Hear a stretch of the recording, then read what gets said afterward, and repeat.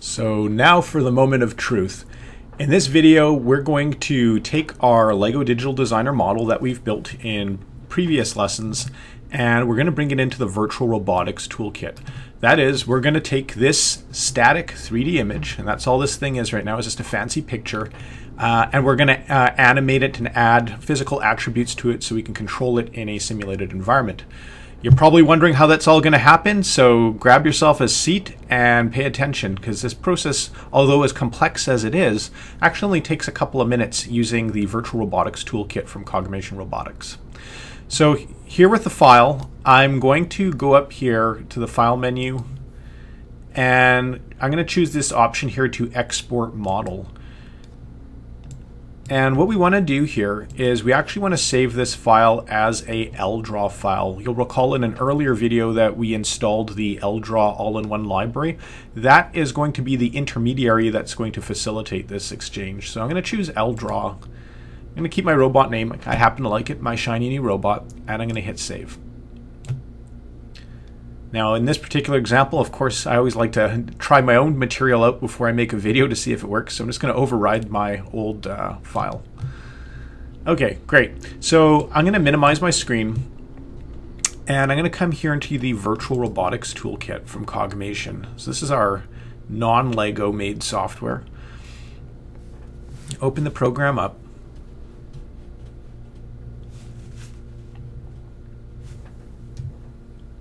And in a second here, we're going to see a welcome screen. Now, it doesn't matter which project you happen to pick. Um, I happen to like this cleanup challenge, so that's the one I'm going to use, but you can use whichever one you happen to like best. I'm going to create the project. If I ask you to override an existing file, just say yes.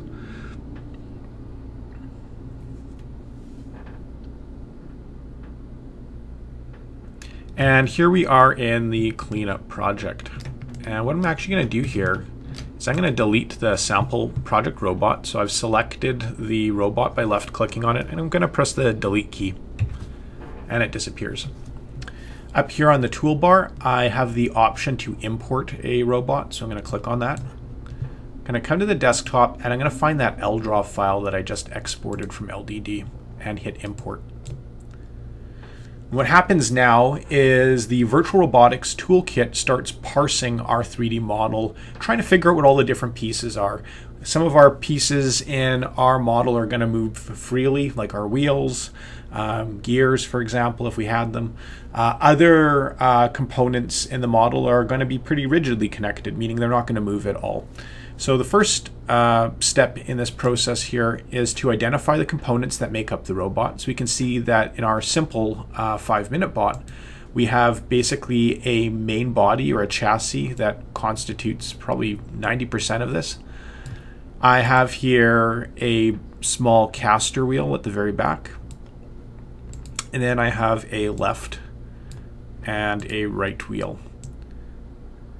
And what I'm going to do here is I'm actually going to give these components meaningful names. Now this happens to be a very simple robot, um, so you know it'd be totally fine just to leave things named the way they are. But you can imagine if you're building something very complex, like say a robotic arm, you might have many of these components, you know, upwards of 20, 30, 40 components, and it can become difficult to work with your model if you don't know what those components are by looking at them in the list.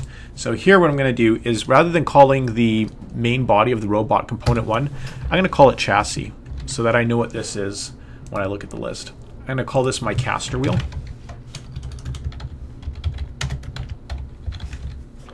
Then I have my left wheel. So let's go left wheel. And finally I have my right wheel. I'll hit next to go to the next part of the process here.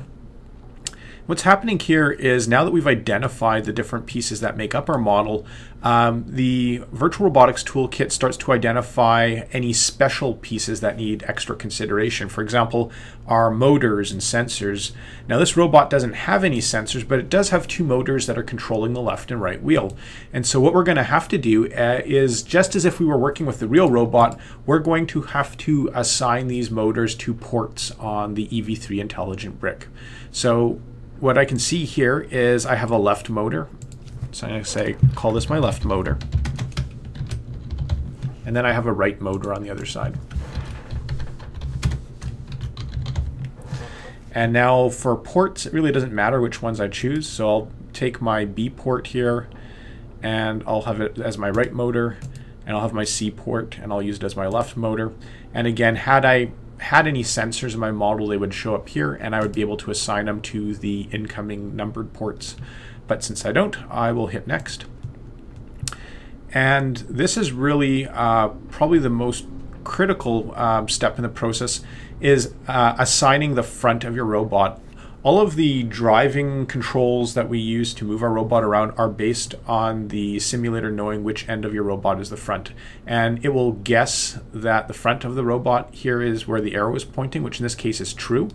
But in certain examples, you may be importing a robot and your robot might be facing another direction, for example, the left or the right. And if that's the case, then we just click here on the arrow key to make that assignment nine times out of ten, at the conclusion of the import process, if your robot isn't able to be controlled using the keyboard keys, it's because uh, somehow you goofed on this step. So get that one right. So in this example, this is the front of the robot. I'm going to go to my left motor and I'm going to assign a set of keyboard controls to drive it. You can see here I have a couple of different options. I can use either the WASD uh, keyboard keys, which are very commonly used when playing a, a computer game. Uh, if you're more familiar with using the arrow keys, we can control our left motor that way. And if I happen to have had a um, generic game controller, like a Logitech controller or something like that, I could also assign the game controller to control my robot's movement. Uh, in this case, though, I'm going to choose the left wheel WASD keyboard keys to control the left motor. We can see here that basically it creates a keyboard mapping. So, for example, when the W key is pressed down, it's going to move the motor forward a set number of RPM. When the key is released, in other words, when the key pops back up, it's going to stop that movement. And again, we can see a similar keyboard mapping for the A, S, and D keys, which um, will have their own sets of uh, RPM uh, mapped to them respectively click on here on the right motor and I'm going to choose the right wheel uh, WASD to control it. And so in effect what I have here is when I press down the W key for example, it's going to move both the left motor and the right motor uh, in the same direction at 100 RPM. When I press the S key, which is our backwards key, or how, how our robot will move in reverse, we can see that it moves the robot at minus 100 RPM. So in other words, it's gonna the, the motor is gonna move in the opposite direction for both the right motor and the left motor. And there you have it. So I'm gonna hit next. Uh, the simulator is going to do some last minute checks here just to make sure that everything is constrained properly. It's going to flex our model. And in a second here, we're going to see a message stating that our robot is ready to be used. And there we go. So I'm going to click finish. Now the default placement of the robot at the conclusion of the import process is to put it in the center of the map. Usually that's a pretty good choice. In this particular project, it's not such a great choice, but uh, let's hit play and see what happens. Pop. Everything pops, things break. Um, and that's because our robot is real now. And how do I know that? Well, if I move my robot out and I go up here to the render menu and choose physics, we can see how my model now um, lights up like a Christmas tree. And the reason for that is because of all of the physical attributes have been assigned uh, to each and every component in our model to offer a completely authentic um, experience to driving and controlling the real thing. For example, if I come up here to my object properties dialog, we can see now that my model has things like a mass, uh, center of mass, how different physical forces such as gravity and friction affect it, how it will react in collisions. If I take a look at the properties of my motors, we can see that there are things here like brake force and brake torque, um, drive body, and various tolerances. So let's turn off our physics highlighting and hit play to control our robot. So I'm going to hit play. When the play button's pressed, the simulator uh, kicks into gear and I get this green bar on the screen. And I can now begin driving and controlling my robot using the keyboard keys, which are W, A, S, and D. And you can see that this robot doesn't turn so well, and that's because our back wheel here is tightly constrained uh, using these two connecting bushes. So if I was going to rebuild this robot again, I might do some things differently so I could give it uh, a little bit more fluid movement when turning side to side. But uh, as long as we're going forwards and backwards, everything seems to be just fine. now, um, there is one other thing I can do here to turn on my keyboard display. So if I forget what buttons are controlling my robot, I can actually go up here to the File menu, go to Preferences, and there is an option here. Just gotta find it. Let's go under Other to Coordinates Display Enable, uh, Controls Display, Keyboard Controls, and Camera Controls, and I'll hit OK.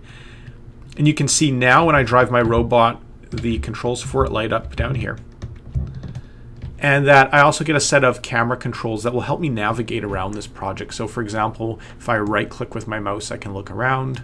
Uh, if I hold down the left control key and right click at the same time, I can truck or uh, pan my camera as it, as it would be called in LEGO Digital Designer. Of course, I can hold down the left alt key and right click and I can orbit around my creation. And then I can use my middle mouse wheel to zoom in and out.